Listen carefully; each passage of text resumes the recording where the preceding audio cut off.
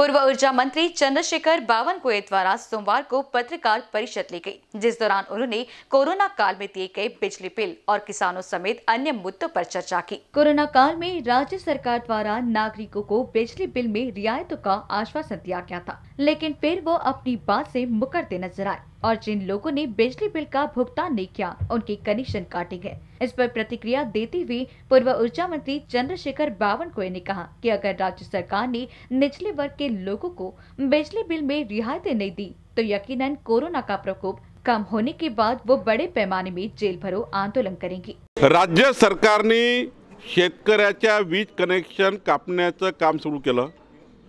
राज्य सरकारने शंभर युनिट वीज बिल माफीची घोषणा केली पूर्ण केली नाही.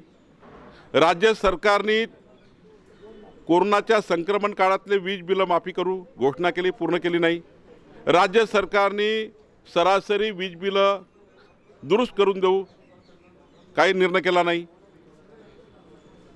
शेतकऱ्याचे कनेक्शन कापणार नाही शासनाने निर्णय घेतला शेतकऱ्याचे कनेक्शन कापताय.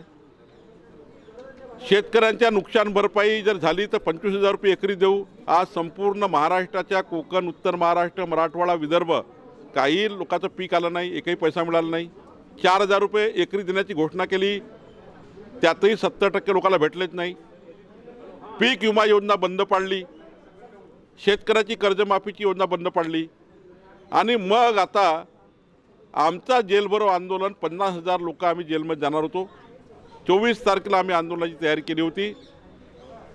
सर्व आमदार खासदार जिल्हा पर जिल्ह्याचे आमचे नेते आणि महाराष्ट्राचे नेते या आंदोलनामध्ये उतरलेले होते. सोमवार को हुई पत्रकार परिषद के बाद पूर्व ऊर्जा मंत्री चंद्रशेखर बावनकुए ने बेसिन की टीम से बातचीत की।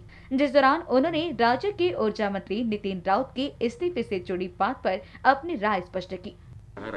नितीन राऊत साहेबांना राजीनामा मागण्याचा माझा काही त्या ठिकाणी प्रश्न नाही आहे माननीय मुख्यमंत्री उपमुख्यमंत्री यांनी त्या ऊर्जा खात्याला दहावीस हजार कोटी रुपयाची मदत जोपर्यंत करत नाही तोपर्यंत ऊर्जा खाते काम करू शकत नाही.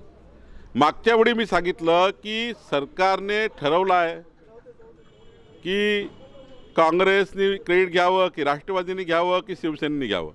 या क्रेडिटच्या लढाई सुरू आहे.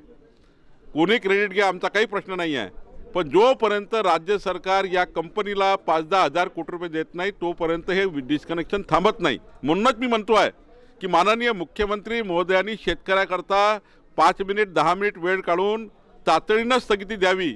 आणि मग तुमच्या बजेट असेल केव्हा तरी तेव्हा पाच दहा हजार कोटी रुपये या कंपनीला देऊन हे बिल जे चुकीचे आले आहेत शंभर युनिटची तुम्ही वीज बिलाची घोषणा केली याच्यातून तुम्ही आता मागे येत आहे हे जे निर्णय होत आहे, हे माननीय मुख्यमंत्री त्यात लक्ष टाकलं बिजली बिल और किसानों से जुड़े मुद्दे पर सत्ता पक्ष और विरोधी पक्ष में आरोप और प्रत्यारोप का सिलसिला जारी है।